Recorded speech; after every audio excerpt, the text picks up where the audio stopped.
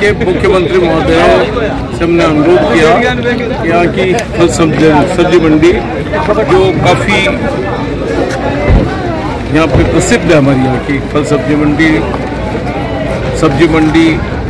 तो उसकी जो मूलभूत सुविधाएँ हैं, उनको विस्तारित करने की उनकी कमी को दूर करने की आवश्यकता है। मुझे यहाँ का प्रतिनिधिमंडल, महिला अध्यक्ष जी के साथ में, अजय सानी जी के साथ में और उन्होंने ज्ञापन दिया मैंने हमारे कृषि विपणन मंत्री आदरणीय मुरारी लाल जी मीणा को निवेदन किया और मुझे खुशी है कि उन्होंने स्वीकृति समय पर जारी कर दी और टेंडर प्रक्रिया भी पूरी हो गई कि वर्क ऑर्डर भी हो गया है और आज काम भी चालू हो गया पूर्व में भी आठ से तेरह जब मैं विधायक था, तब यहाँ की मांग आई थी।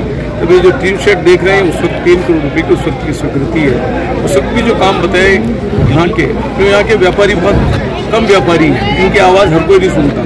तेरह से अठारह तक इनकी आवाज़ गायब थी। इनको कोई सुनने वाला नहीं था।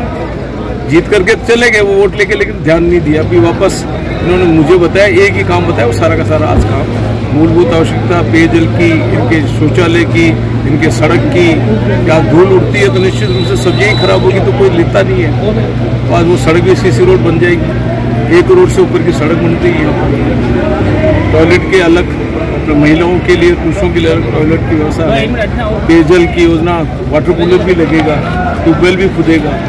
तो सारी सारा आज का सब कुछ कर दिया है। मैं धन्यवाद दूँगा गहलोत साहब का मुरारी लाल जी मीणा का और हमारे सभी फल और सब्ज़ी व्यवसायियों को उन्होंने आज बुलाया और हम सभी का उन्होंने धन्यवाद दिया।